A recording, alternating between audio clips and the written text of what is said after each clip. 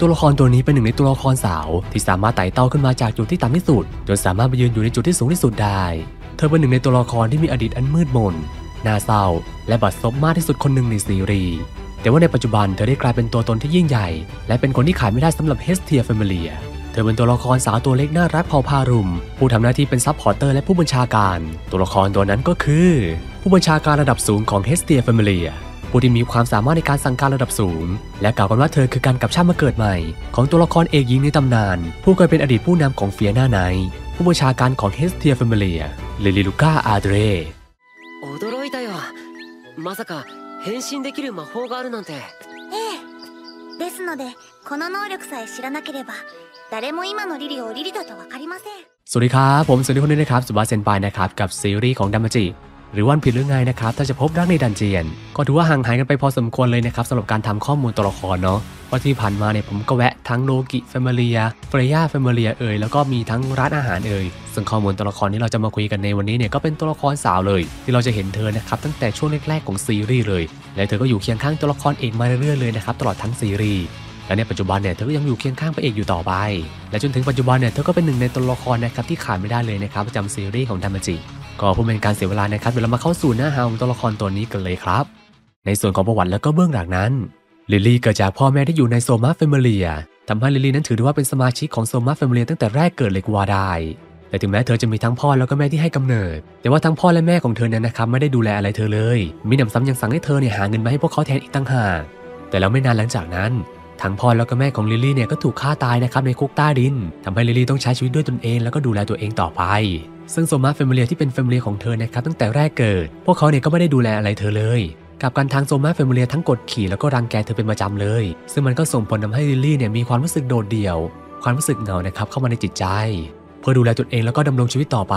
ลิลลี่พยายามหารายได้นะครับให้กับตัวเอง เธอเคยพยายามเป็นนักผจญภัยมาก่อน แต่ก็ด้วยความที่เธอไม่มีพรสวรรค์นะครับในการเป็นนักผจญภัยจนในที่สุดแล้วเธอก็ได้ผันตัวเป็น supporter แทนแต่ว่างานของเธอในฐานะของ supporter นั้นนะครับมันก็ไม่ค่อยราบรื่นแล้วก็ไม่ค่อยดีสักเท่าไหร่ เนื่องจากลิลลี่นะมักจะถูกดูถูกนะครับจากคนที่เคยร่วมงาน จากคนที่เคยปาร์ตี้กันนะครับอยู่ตลอดเวลาเลยมีทั้งการเอารัดเอาเปรียบด่าทอทำร้ายร่างกายอะไรต่างๆมากมายเลยนะครับที่เกิดขึ้นกับเธอ ซึ่งมันก็เลยส่งผลทำให้ภายในจิตใจของเธอเนี่ยเริ่มเกลียดนักผจญภัยมากขึ้นแค่ไปเจอนักผจญภัยนิสัยเสียนะครับที่ร่วมงานด้วยเนี่ยก็ประสาทแดกแล้วและยิ่งเธอต้องกลับมาเจอกับพวกโซมาแฟมิเลียนะครับที่มีความย่ำแย่อีก ตัวของลิลลี่ก็เริ่มทนไม่ไหวนะครับแล้วก็เริ่มหมดความอดทนจนไม่นานหลังจากนั้นเนี่ยเธอก็ตัดสินใจนะครับหนีออกมาจากโซมาแฟมิเลียแล้วก็ได้เปลี่ยนตัวเองให้กลายเป็นพลเมืองธรรมดาธรรมดาคนหนึ่งภายใต้การดูแลของคุณลุงแล้วก็คุณป้าคู่หนึ่งครับ ยวแล้วก็ตามนะครับการหลบหนีออกมาจากโซมาแฟมิเลียของลิลลี่เนี่ยมันก็ไม่ค่อยราบรื่นสักเท่าไหร่เนื่องจากทางโซมาแฟมิเลียได้พบกับเธอเข้า แล้วพวกเขาก็ได้สร้างความเดือดร้อนนะครับให้กับคุณลุงแล้วก็คุณป้าที่ดูแลลิลลี่ ซึ่งจะมีทั้งการทำลายร้านของพวกเขา มีทั้งการกดขี่ข่มเหงแล้วก็มีการขโมยเงินไปอีกต่างหาก ด้วยความชั่วต่างๆนานานะครับที่โซมาเฟมเลียทำกับเธอทำให้ลิลลี่เริ่มเกลียดโซมาเฟมเลียมาก แล้วเธอก็เริ่มสงสัยว่าทำไมเทพโซมาเนี่ยถึงสร้างโซมาเฟมเลียขึ้นมา ที่เทพประจำเฟมเลียไม่เคยมาดูแลจัดการเฟมเลียของตนเองเลย แล้วก็ปล่อยให้เฟมเลียเนี่ยกลายเป็นสถานที่ที่เน่าเฟะกลายเป็นขยะดีๆนี่เอง มันก็จะเป็นอารมณ์ประมาณว่าถ้าไม่ดูแลเนี่ยแล้วจะสร้างขึ้นมาทำแปะอะไร ด้วยความที่ชีวิตมันรันทดแล้วก็สู้ชีวิตขนาดนี้ทำให้ลิลลี่เริ่มเกลียดนักผจญภัยแล้วก็เกลียดโซมาแฟมิเลียมากๆ แล้วเธอก็เริ่มหาวิธีการเอาชีวิตรอดนะครับตามแบบฉบับของตัวเธอเอง ซึ่งจะมีหลากหลายวิธีเลยนะครับ ทั้งวิธีชั่วร้าย ไม่เลือกวิธีการมีเรื่องการหลอกลวงการขโมยต่างๆนานานะครับที่เธอกระทำต่อผู้อื่นก็เพราะว่าเส้นทางชีวิตที่เธอเดินมาเนี่ยมันค่อนข้างรันทดซะเหลือเกิน แล้วก็เป็นเส้นทางที่เลื่อนไม่ได้ดังนั้นเพื่อที่จะมีชีวิตรอดต่อไปลิลลี่ก็เลยเลือกทำวิธีการดังนี้นะครับเพื่อให้เธอเนี่ยจะสามารถมีชีวิตต่อไปได้ ซึ่งนี่ก็คือประวัติแล้วก็เบื้องหลังนะครับของลิลลี่ลูก้าอาร์เดรนั่นเองครับ ก็จะได้ว่าเป็นเบื้องหลังของเด็กสาวคนหนึ่งนะครับที่ค่อนข้างที่จะบัดซบโคตรๆเลยกว่าได้ส่วนเรื่องราวดังจากนี้ของเธอนะครับก็จะดำเนินผ่านไปนะครับตลอดทั้งซีรีส์เลย ที่โชคชะตาจะได้นำพาเธอนะครับมาพบกับเบล ถึงแม้ในช่วงแรกจะมีทั้งการหลอกใช้กันบ้าง มีทั้งการขโมยของกันไปบ้าง แล้วก็เกือบจะแตกหักไปบ้าง แต่หลังจากที่ได้มีการกลับตัวกลับใจ และเธอก็ได้เลือกเส้นทางนะครับเคียงคู่กับเบลทำให้เส้นทางชีวิตของเธอหลังจากนี้เนี่ยก็จะมีทั้งความสุขได้พบเจอกับผู้คนมากมายได้จญภัยนะครับในที่ต่างๆ มากมาย ที่ตลอดหลายเดือนหลายปีเนี่ยเธอก็อยู่เคียงข้างพระเอกนะครับตลอดตลอดเลยผ่านทั้งเหตุการณ์การผจญภัย การต่อสู้ช่วงที่มีความสุขความทุกข์ต่างๆนานามากมายเลยนะครับตลอดทั้งซีรีส์ที่ส่งผลทำให้เธอนะครับมีความแข็งแกร่งมากยิ่งขึ้น ทั้งทางร่างกายแล้วก็ทางจิตใจจนนำพาเธอมาอยู่ในจุดที่ว่า เธอสามารถควบคุมและสามารถนำทัพนะครับกองกำลังขนาดใหญ่ได้และยังสามารถทำหน้าที่เป็นหนึ่งในผู้บัญชาการ ผู้มีความสามารถมีประสบการณ์และความรอบรู้ ที่สามารถดึงศักยภาพสูงสุดนะครับของสมาชิกในปาร์ตี้ออกมาได้ และเป็นตัวตนที่ขาดไม่ได้ในฐานะของผู้บัญชาการสูงสุดนะครับประจำแฟมิเลียเลยทีเดียวครับ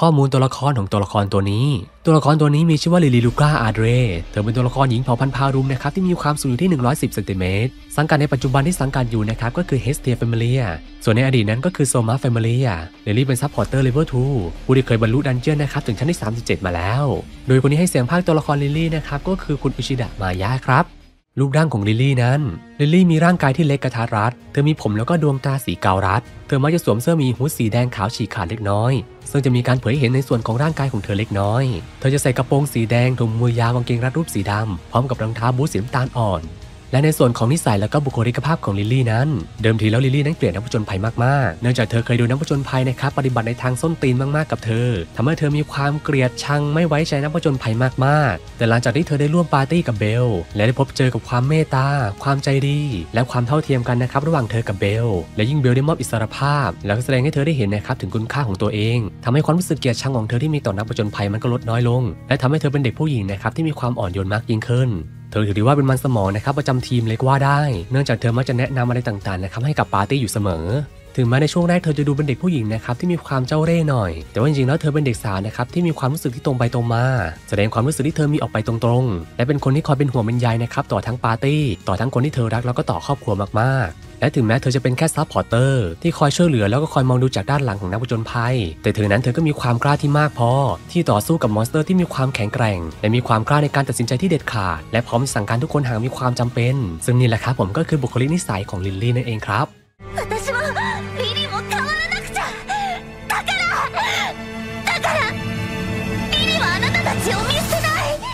ต่อไปเรามาดูพลังและความสามารถต่างๆ ของลิลลี่กันครับ ในส่วนของความสามารถนั้น เนื่องจากบทบาทส่วนใหญ่ของลิลลี่ก็คือ supporter และเป็นผู้บัญชาการที่คอยอยู่เบื้องหลังปาร์ตี้ลิลลี่จึงขาดทักษะการต่อสู้อยู่บ้าง และเธอก็ถือได้ว่าเป็นคนที่อ่อนแอมากๆเลยนะครับสำหรับคนที่อยู่ในเลเวลเดียวกัน แต่ถึงอย่างนั้นนะครับด้วยความที่เธอเลเวล2ทำให้ความสามารถทางร่างกายความสามารถพื้นฐานของเธอเนี่ยก็คือสูงมากกว่าคนปกติทั่วไป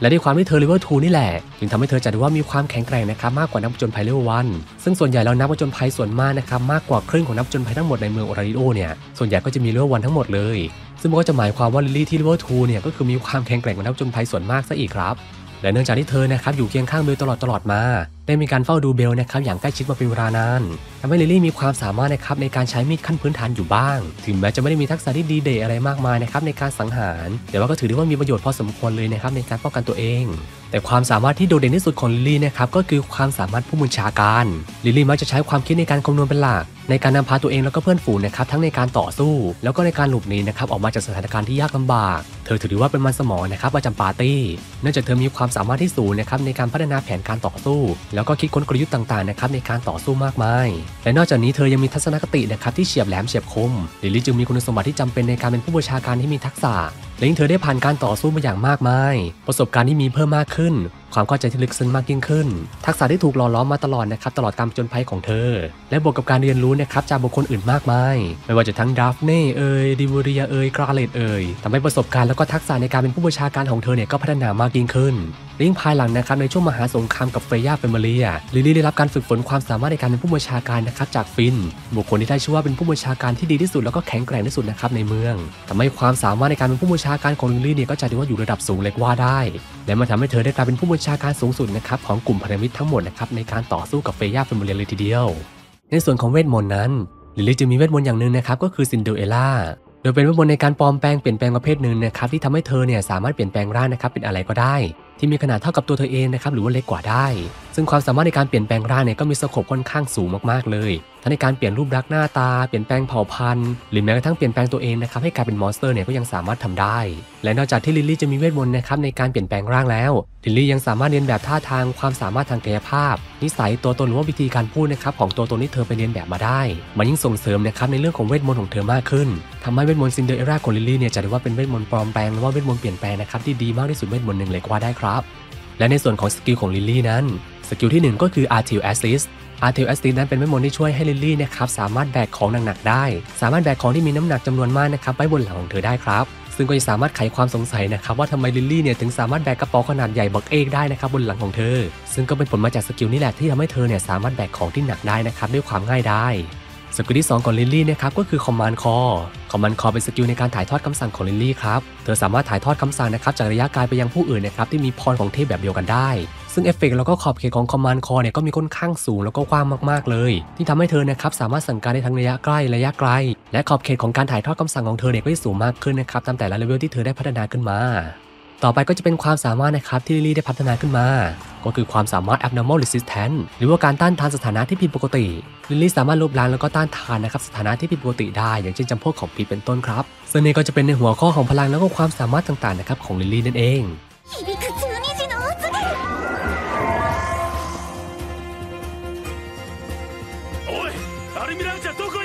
ต่อไปเรามาดูในส่วนของอาวุธแล้วก็อุปกรณ์ต่างๆของลิลลี่กันนะครับว่าเธอเนี่ยมีการใช้อุปกรณ์อะไรบ้าง มาเริ่มจากอุปกรณ์ในปัจจุบันกันก่อน อุปกรณ์อย่างที่หนึ่งก็คือสกิรุตบอนัสเป็นอาวุธที่สั่งขึ้นนะครับเพื่อการใช้งานโดยพารุมโดยเฉพาะ ซึ่งจะมีราคาราวๆ3 8 0 0 0 0 วาริสลิลลี่ได้สั่งทำอาวุธชิ้นนี้นะครับในตอนที่เธอ level up นะครับมาเป็น level 2ซึ่งเธอก็อารมณ์ดีมากๆเลยนะครับในการสั่งทำอาวุธชิ้นนี้ โดยไม่สนว่าอาวุธชิ้นนี้เนี่ยต้องใช้เงินเท่าไหร่เลยทีเดียว ในตอนแรกลิลลี่นั้นขอให้เวฟนะครับทำอาวุธชิ้นนี้ให้กับเธอ แต่เนื่องจากเวฟเนี่ยไม่เข้าใจการทำงานนะครับของอาวุธประเภทหน้าไม้ทำให้ซิกรุตวอนัทของลิลลี่เนี่ยก็เลยถูกสร้างขึ้นมานะครับโดย Goibniu Familia แทน คุณภาพแล้วก็ประสิทธิภาพของอาวุธชิ้นนี้เนี่ยมันก็ใกล้เคียงนะครับกับอาวุธชั้นหนึ่งเลย ที่มันมีพลังแล้วก็ระยะการยิงที่สูง แล้วก็ยังสามารถเปลี่ยนแปลงอนุภาคของการยิงได้นะครับตามแต่ลูกศรที่เธอยิงออกไป อุปกรณ์อย่างที่ 2 ก็คือริการิกาเป็นดาบเวทไฟนะครับที่มีรูปร่างคล้ายกับมีด อุปกรณ์อย่างที่3นะครับก็คือ dagger มันเป็นมีดขนาดเล็กราวๆ 20เซนติเมตรครับที่กิลเนี่ยออกให้กับนักผจญภัยหน้าใหม่ ซึ่งลิลลี่มักจะใช้มีดเล่มนี้นะครับในการแกะสลักหินเวทมนต์ซะส่วนใหญ่ครับอุปกรณ์อย่างที่4 Supporter Glove เป็นถุงมือที่ออกแบบมานะครับเพื่อจัดการกับศพของ monster ถุงมือนี้มันจะมีความสามารถนะครับในการปกป้องมือของบุคคล จากการกัดกร่อนของกรดนะครับที่มาจากตัว monster และนอกจากนี้มันยังมีความสามารถในการต้านทานนะครับที่เอาเรื่องพอสมควรเลย อุปกรณ์อย่างที่5 g o r e a t Love เป็นเสื้อคลุมที่ทำมาจากหนังของโกลิอัสสีดำนะครับที่เฮสเทียได้ต่อสู้ในชั้นที่ 18 มันเป็นเสื้อคลุมที่มีความสามารถในการป้องกันการโจมตีทางกายภาพและก็เวทมนต์ที่สูง แต่จะไม่สามารถป้องกันขึ้นกระแทกได้ครับ แต่ถึงกระนั้นก็จะได้ว่าเป็นผ้าคลุมนะครับที่เหมาะสำหรับการผจญภัยมากๆเลย อุปกรณ์อย่างที่ 6 อุนดินโค้ดอุนดินโค้ดนะครับเป็นเสื้อผ้าสีน้ำเงินนะครับที่อัดแน่นไปด้วยพลังของอุนดิน ซึ่งสามารถป้องกันแล้วก็ต้านทานนะครับการโจมตี หรือว่าต้านทานคุณสมบัตินะครับของน้ำอุปกรณ์อย่างที่ 7 ก็คือ Backpack Hermes Special เป็นกระเป๋าเป้สะพายหลังนะครับที่ผลิตโดย Hermes f a m i l i a มันมีความทนทานแล้วก็ขนาดที่ใหญ่มากๆ ซึ่งใหญ่แล้วก็ทนทานมากกว่ากระเป๋ารุ่นอื่นก่อนนะครับที่ลิลลี่เคยใช้มา โดยกระเป๋าเป้ใบนี้นะครับจะมีราคาอยู่ที่ 49,800 วาริสครับ ซึ่งนี่ก็เป็นรายการอาวุธในปัจจุบัน ในส่วนของอดีตอุปกรณ์เนี่ยก็จะมีดังนี้ อดีตอุปกรณ์อย่างที่หนึ่งก็คือ Little Ballista เป็นหน้าไม้ที่สร้างขึ้นโดยกอมมิเนลฟ a m i l i a สำหรับพาลุมโดยเฉพาะ จุดขายของ Little Ballista ก็คือ มันมีพลังทำลายล้างที่สูงนะครับแม้จะมีขนาดเล็กก็ตาม มันจะมีระบบการยิงแล้วก็รีโหลดนะครับแบบมันนวลแต่นั้นจึงสามารถยิงได้อย่างต่อเนื่องแล้วก็รวดเร็วแล้วก็มีความง่ายดายในการใช้งาน แต่ว่าก็จะมีข้อเสียเพียงอย่างเดียวนะครับก็คือระยะการยิงของมันเนี่ยค่อนข้างสั้นครับ อดีตอุปกรณ์อย่างที่ 2 ก็คือ Magic Sword มันเป็นดาบเวทมนต์ที่เดิมทีลิลลี่นะครับจะเก็บไว้ใช้ในยามฉุกเฉิน แต่ต่อมามันก็ถูกขโมยไปนะครับโดยคานูบอรูเวอดีตอุปกรณ์อย่างที่ 3 ก็คือ Salamander Wool Salamander Wool นะครับเป็นผ้าสีแดงที่มีพลังของ Salamander ซึ่งเป็นผ้าคลุมที่มีคุณสมบัตินะครับในการป้องกันแล้วก็ต้านทานการโจมตีนะครับของคุณสมบัติธาตุไฟ ซึ่งนี่ก็เป็นอาวุธแล้วก็อุปกรณ์ต่างๆนะครับที่ลิลลี่เนี่ยได้มีการใช้งานครับก็ก่อนที่เราจะจากกันนะครับเดี๋ยวผมจะเพิ่มเติมส่วนเสริม หรือเรื่องที่คุณอาจจะรู้หรือว่าไม่รู้ก็ได้นะครับ เกี่ยวกับลิลลี่นั่นเองว่ามีเรื่องอะไรกันบ้าง ส่วนเสริมเรื่องที่หนึ่ง เดิมทีแล้วนะครับผู้เขียนเนี่ยยืนกรานนะครับว่าเขาเนี่ยวางแผนที่จะไม่ปล่อยให้ลิลลี่เนี่ย level up มากขึ้น เพื่อที่จะให้ลิลลี่เนี่ยเป็นตัวแทนของคนนะครับที่ไร้ความสามารถที่จะไม่สามารถ level up ขึ้นไปกว่านี้ได้ แต่ว่าด้วยอะไรต่างๆนะครับที่มันผ่านไป ทางผู้เขียนเนี่ยเขาเลยตัดสินใจนะครับให้ลิลลี่ level up มากขึ้นเพราะเขาคิดว่ามันคงแปลกนะครับว่าถ้าหากลิลลี่เนี่ยผ่านอะไรต่างๆมามากมายขนาดนี้ ผ่านการผจญภัยที่มีความดุเดือดโหดร้ายเผ็ดมันกับเบลมามากขนาดนี้ มันควรจะแปลกน่าดูถ้าหากลิลลี่ไม่ level up ขึ้นมาเลยดังนั้นพวกเขาเลยตัดสินใจนะครับให้ลิลลี่ level up ขึ้นมาครับส่วนเสริมที่สอง คำว่า a r t e l Astis ตัวอักษรคันจินะครับที่ใช้สำหรับคำนี้เนี่ยมันจะอ้างอิงถึงสำนวนที่ว่า En no Shita no Chikara Mochi ซึ่งเป็นคันจิที่หมายถึงวีรบุรุษหรือว่าบุคคลนะครับที่ไม่ได้รับการยอมรับหรือว่ายกย่อง ส่วนเสริมที่ 3เวทมนต์ของลิลลี่นะครับอย่างซินเดอเรลล่ามันจะเป็นการอ้างอิงนะครับถึงตัวละครในนิทานพื้นบ้านนะครับอย่างซินเดอเรลล่านั่นเอง ส่วนเสริมที่ 4 อาวุธของลิลลี่นะครับอย่างสกิรุตวอนัทมันจะเป็นอาวุธนะครับที่ตรงตามทีมของลิลลี่เลยนะครับก็คือในส่วนของกระรอก อย่างสกิรุตไซรุตวัสซูรุตเนี่ยมันก็เป็นหนึ่งในสายพันธุ์นะครับของกระรอก และวอนัทเนี่ยก็เป็นชื่ออาหารของกระรอกครับ ส่วนเสริมที่ 5ใน web novel นะครับลิลลี่มักจะชอบพูดว่าชิชิชิชิซึ่งไอชิชิชิเนี่ยมันจะเป็นคำนะครับที่พวกเด็กแว้นเนี่ยเขาจะพูดกัน แต่ว่าพอเปลี่ยนมาในฉบับของ light novel ไอคำว่าชิชิชิเนี่ยก็ถูกนำออกไปและลิลลี่ก็มีวิธีการพูดนะครับที่ปกติทั่วไปเลย ส่วนเสริมสุดท้าย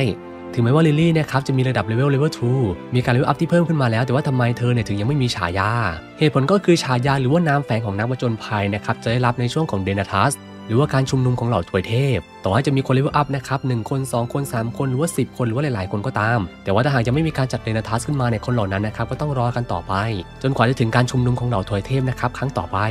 พวกเขาเนี่ยถึงจะได้รับฉายานะครับที่เหล่าทวยเทพเนี่ยจะเฟ้นหามาให้หรือว่า จัดการคัดสรรนะครับให้กับนักผจญภัยเหล่านั้น ซึ่งในตอนที่ลิลลี่ level up นะครับงานในเดนาทัสหรือว่าการชุมนุมของเหล่าทวยเทพเนี่ยมันยังไม่ได้จัดครับแต่นั้นเนี่ยก็เลยเป็นเหตุผลที่ว่าทำไมเธอเนี่ยถึงยังไม่มีฉายานั่นเอง นี่ก็เป็นส่วนเสริมแล้วก็ข้อมูลต่างๆนะครับของลิลลี่ลูกาอาร์เดรนั่นเองครับ ก็สำหรับคลิปนี้นะครับก็ประมาณนี้แล้วกันนะครับก็ถ้าหากทุกคนชอบซีรีส์ของดันมาจินะครับก็ฝากกดไลค์กดแชร์กด subscribe แล้วที่สำคัญนะครับอย่าลืมกดกระดิ่งให้ด้วยนะ เพื่อที่จะไม่พลาดคลิปใหม่ๆนะครับที่ลงในช่องของบาสเซนไปแล้วก็อีกอย่างหนึ่งนะครับผมกำลังคิดจะหาซีรีส์ที่เพิ่มขึ้นมานะครับแต่ว่าก็ยังไม่ตัดสินใจเหมือนกันว่าจะทำซีรีส์อะไร ซึ่งก็ฝากติดตามมันด้วยเนาะแล้วเจอกันใหม่คลิปหน้านะครับผมว่าจะเป็นคลิปอะไรแล้วเจอกันใหม่ครับทุกคน สวัสดีครับบ๊ายบายครับทุกคน